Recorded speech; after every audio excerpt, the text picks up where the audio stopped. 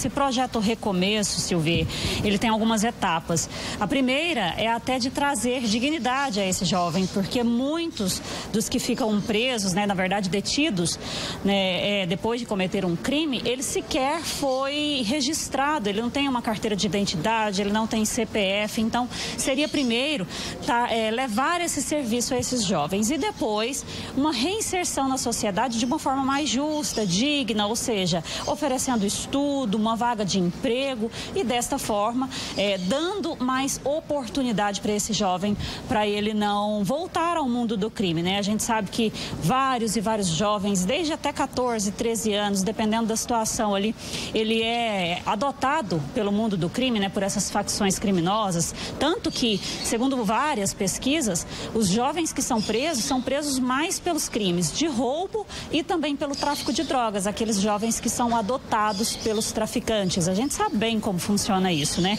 E um outro levantamento também, o Silvia, do, do CNJ, que é o Conselho Nacional de Justiça, é um levantamento nacional, diz que quando o jovem ele é detido, cumpre a medida socioeducativa e ele tem ali uma, um cumprimento dessa medida socioeducativa de uma forma justa, de uma forma, é, dessa forma mesmo, assim, de levar a oportunidade para esse jovem, a reinserção dele no crime é muito pequena. É muito menor, por exemplo, do que no caso de um, de um sistema carcerário dos adultos.